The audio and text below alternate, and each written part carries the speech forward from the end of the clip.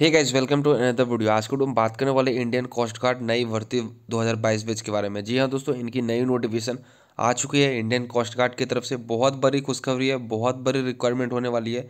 बात करते हैं इसके अंदर यहाँ पर क्या क्या आपको एलिजिबिलिटी डिटेल्स देखने को मिलेगा, क्या एजुकेशन क्वालिफिकेशन क्या है एज लिमिट क्या प्रोसेस है अप्लाई करने का, क्या डॉक्यूमेंट लगानी है और कैसे इसको अप्लाई करना है, क्या एंट्री होने वाली है, ये सारा डिटेल्स इस वीडियो के अंदर आपको बताएँगे, क्या हाइट हो गई, ये सारा कुछ। तो चलिए वीडियो को स्टार्ट करते बिना समय लेते हुए। अगर आप देख रहे थे एक हज़ार लाइक का टारगेट है तो जल्दी से पूरा कर देना।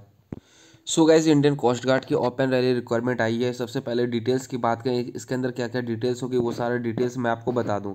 सबसे पहले डिटेल्स की बात करें, यहाँ पर तो ऑर्गेनाइजेशन बोर्ड नेम की बात करें, यहाँ पर तो कोस्ट गार्ड होने वाली है। पोस्ट नेम की बात करें तो नाविक डीवी और कांस्टेबल जीडी की पोस्ट आपको देखने को मिलेगा, यानी कि जनरल ड्यूटी की पोस्ट डोमेस्टिक ब्रांच की पोस्ट आपको देखने को मिलेगी। वैकेंसी की बात करें तो ओपन रैली वैकेंसी है डायरेक्ट भर्ती है। जॉब कैटेगरीज की बात करें तो डिफेंस की जॉब आपको देखने को मिलेगा। Job location all over India पूरे इंडिया के अंदर आपको कहीं पर भी जॉब प्रोवाइड की जाएगी। हु कैन अप्लाई तो ऑल इंडिया कैंडिडेट्स पूरे भारत के बच्चे इसके अंदर अप्लाई कर सकते हो, कोई प्रॉब्लम इसके अंदर आपको नहीं होगी। एग्ज़ाम सेंटर की बात करें तो ऑल इंडिया पूरे इंडिया के अंदर आपको कहीं पर भी एग्ज़ाम जो है वो लिया जा सकता है। जेंडर की बात करें तो ओनली फॉर मेल वो भी अनमेरिड होना चाहिए। बात करते हैं यहाँ पर एप्लीकेशन मोड के बारे में तो ऑनलाइन मोड है। जी हाँ दोस्तों, अपने फ़ोन से आप आवेदन कर सकते हो, आप अपने से आवेदन कर सकते हो। आपका आवेदन हो जाएगी हंड्रेड परसेंट अप्लीकेशन फ़ी की बात करें तो कोई फ़ी चार्ज आपसे नहीं ली जा रही है। ज़ीरो रुपीज़ है, ना ही जनरल ना ही ओबीसी ना ही एस टी कोई भी बच्चे इसके अंदर यहाँ पर फ़ी पेमेंट यहाँ पर नहीं कर सकते हो। Free of cost form apply कर सकते हो। पेमेंट मोड आप किसी भी तरीके से यूज़ नहीं करना। वैकेंसी की बात के यहाँ पर तो एज लिमिट के अंदर जो आपसे मांगी जा रही है वैकेंसी के अंदर जो एज लिमिट मांगी जा रही है, आपका जो एज लिमिट होना चाहिए, वो मिनिमम सेवनटीन ईयर यानी कि सत्रह साल होना चाहिए। मैक्सिमम की बात करें पच्चीस साल, अगर आप सत्रह से पच्चीस के बीच बिलोंग्स करो या फिर इस एज लिमिट के अंतर्गत आते हो तो बिल्कुल आवेदन कर सकते हो, कोई प्रॉब्लम आपको नहीं होगी। इसके अंदर बात करते हैं आपको जो सैलरी मिलेगी, वो ट्रेनिंग पीरियड से सैलरी आपको देखने को मिलेगा। इक्यावन हज़ार सात सौ पर मंथ से स्टार्टिंग है। बात करते हैं इसके अंदर यहाँ पर जो है एजुकेशन क्वालिफिकेशन जो इंपॉर्टेंट है, आपका एजुकेशन क्वालिफिकेशन कितना होना चाहिए। तो यहाँ पर ओनली फॉर टेंथ पास होना चाहिए। किसी भी बोर्ड से हो, किसी भी स्कूल से हो, किसी भी राज्य से हो, कोई फ़र्क यहाँ पर नहीं पड़ता है। अगर आप दसवीं पास हो तो अप्लाई कर सकते हो।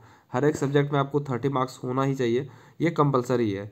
बात करते हैं यहाँ पर फ़िज़िकल फिटनेस टेस्ट के बारे में, जो आपसे मांगी जा रही है फ़िज़िकल फिटनेस टेस्ट के अंदर जो आपसे होना चाहिए, वो आपका होना चाहिए, वो हाइट कितना होना चाहिए, एक बौसठ सेंटीमीटर वहीं आपका जो है चेस्ट पैंसठ से सत्तर और वहीं मेल के लिए जो यहाँ पर जो है नॉर्थ जोन के कोई बच्चे हैं, उनके लिए जो हाइट होना चाहिए, वो एक साठ. रनिंग टेस्ट के के यहाँ पर तो रनिंग जो आपसे करवाई जा रही है, वो one point six kilometre running करना पड़ेगा, वो भी सेवन मिनट के अंदर. बात करते हैं यहाँ पर टेन पुशअप लगानी है और ट्वेंटी स्क्वाड्स लगानी है. सिलेक्शन प्रोसेस किस तरह से होगी? सबसे पहले फ़िज़िकल होगी, दूसरी मेडिकल होगी, तीसरी रिटर्न टेस्ट होगी।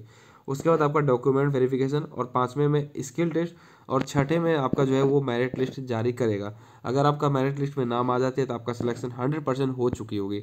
बात करते हैं पर इंपॉर्टेंट डॉक्यूमेंट्स के बारे में तो फ़ोटो एंड सिग्नेचर जो कि लाइट कलर बैकग्राउंड होना चाहिए।